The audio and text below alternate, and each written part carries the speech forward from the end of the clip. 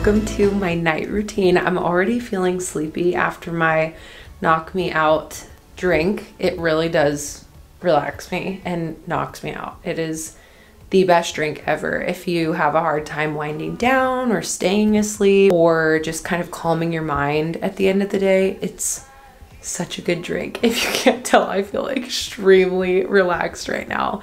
I have my mineral tea on for tomorrow. I always like to write out my to do list for the next day. There's actually been research that shows that is very helpful to calm down your mind before you go to sleep.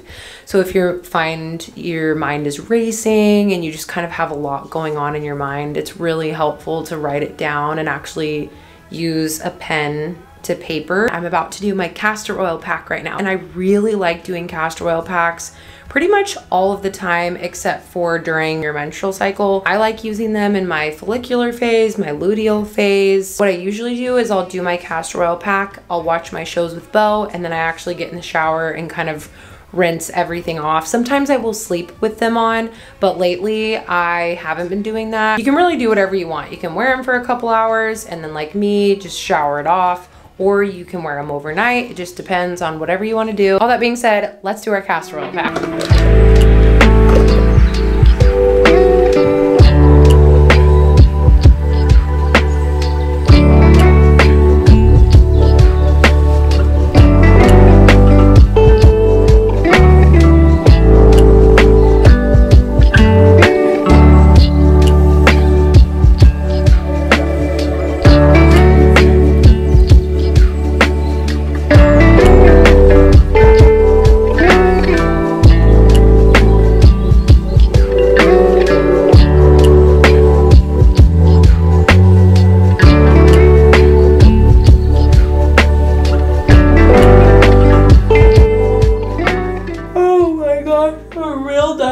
Hmm. castor used to never get tired before too. So I'm gonna talk to you a little bit more tomorrow about how to really unwind. If I literally was the person, I could never fall asleep at night. I couldn't go to sleep.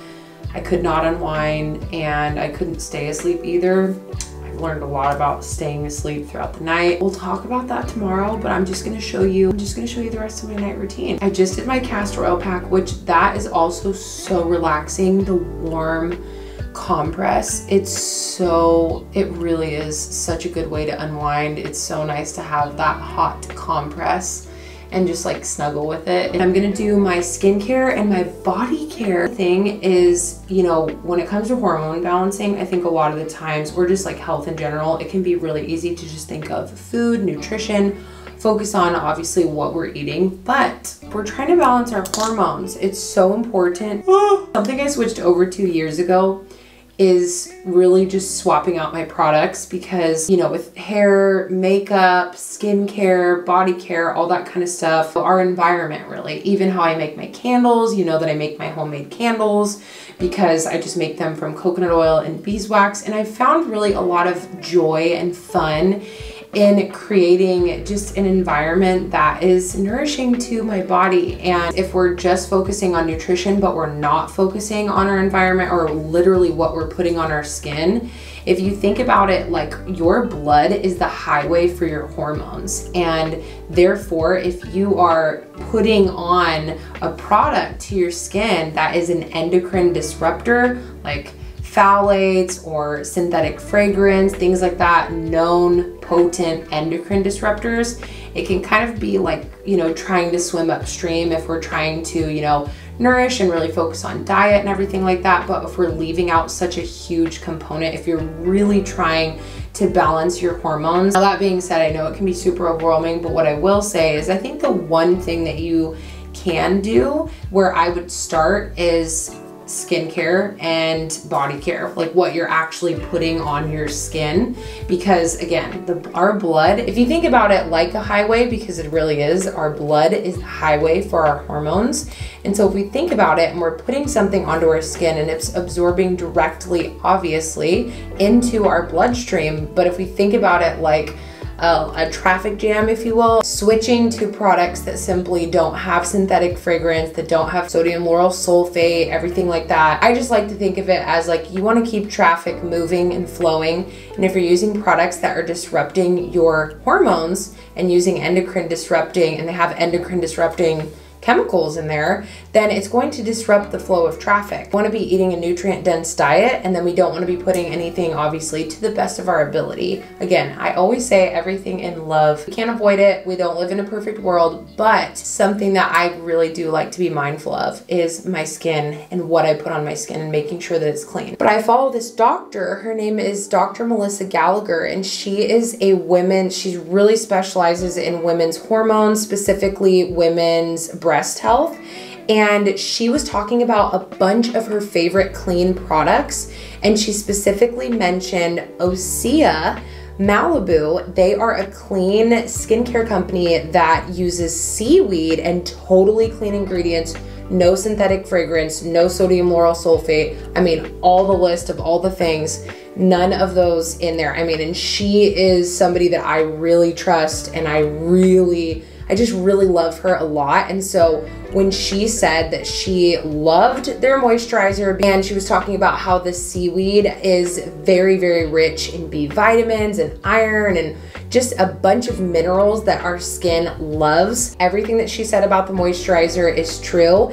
This is their Undaria algae body butter. So the Undaria algae or seaweed is that's what contains all those incredible compounds. The seaweed provides barrier protection, which is really amazing. Our skin barrier, which is incredible. It also has ceramides in it, which is actually fatty acids. And those are very important for our cellular membranes. And the fact that one of my favorite doctors ever said that it was her favorite and she's obsessed with it, I was like, I'm I'm sold. You know what this is? This is the superstar of the clean skincare world. Don't even get me started on the body oil, okay? Because the body oil is just another level of amazingness and I love it. Oh, the texture of this is just, it's like a whipped butter. Oh my gosh, and the smell, it is I'm super picky about the smell, and that's the thing. They only use essential oil fragrance. Consider this your sign. If you are doing all the things with your nutrition, but you haven't switched over to clean body care and skincare. We wanna keep the flow of traffic in our blood. We wanna keep the highway nice and happy. Cambria Joy is gonna get you 10% off of your order at Osea. They're the best. I'm gonna link it in the description box. And let me tell you, I've been there. There's nothing worse than switching over to clean and being like, this doesn't work. I don't like it, you know? Or it's just like, not up to the expectations that you had, that's what makes switching hard. You need to be able to find a product that really is good and works well because there's no, don't, don't get me started on clean deodorant. That's a whole different conversation. Let me just say that I have been there when it comes to switching over to clean products. Nevertheless, this is it. Your search ends here. This is my favorite. I'm gonna moisturize the rest of my body.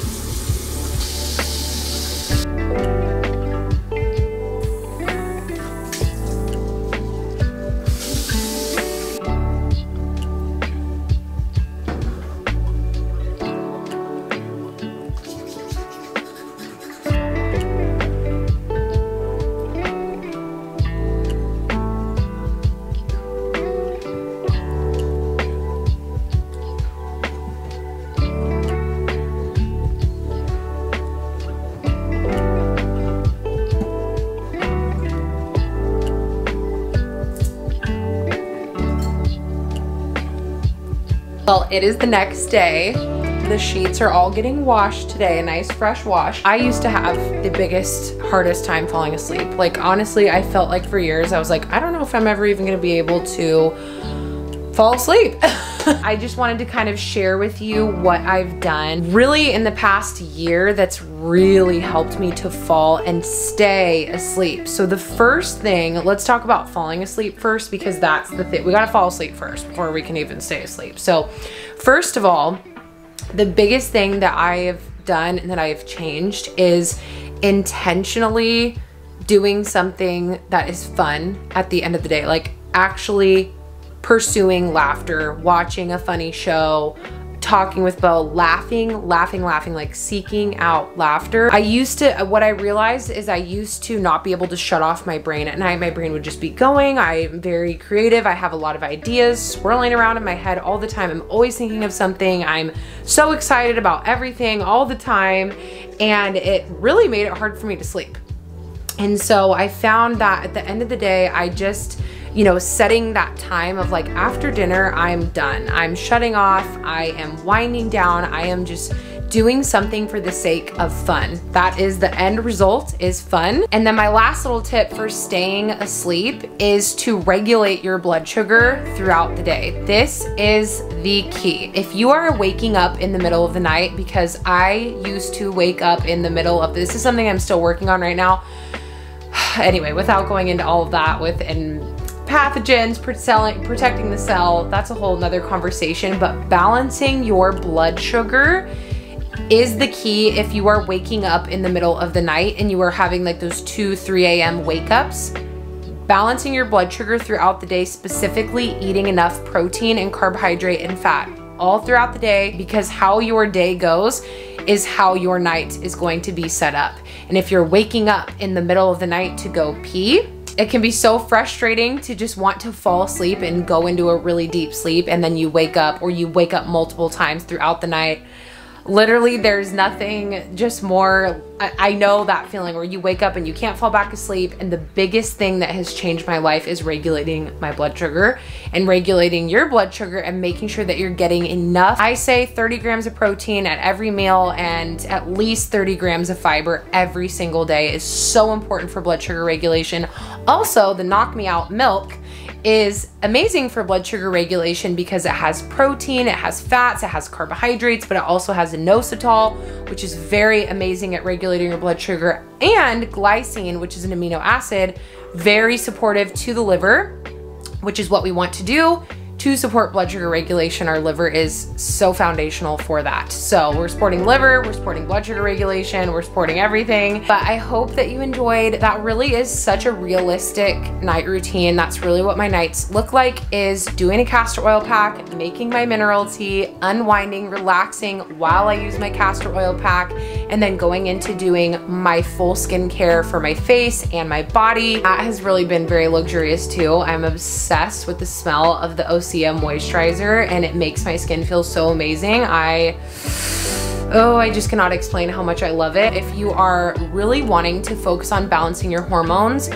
to just reminding you, and even my little candle, I light my beeswax candle. Hope that was helpful for you too, just as a reminder when it comes to our hormone health, just how big of an impact that our environment makes. And it's really not about being perfect, but for me, it's just about being mindful. And there's something that just Oh, there's something that feels so amazing when you find a really good clean product that works and that you love. You know, if we're really trying to focus on hormonal balance, remembering that the blood is the highway for our hormones and what we eat affects that, but also what we put on our skin. The largest organ is going to also have a major impact that is getting absorbed right into our bloodstream and that is going to have a direct impact on our hormones. So let's keep the highway flowing. Let's keep it traffic free, if you will. Mineral tea recipes in the description. All the things are in the description. So I love you so much and I will see you in next video. Bye.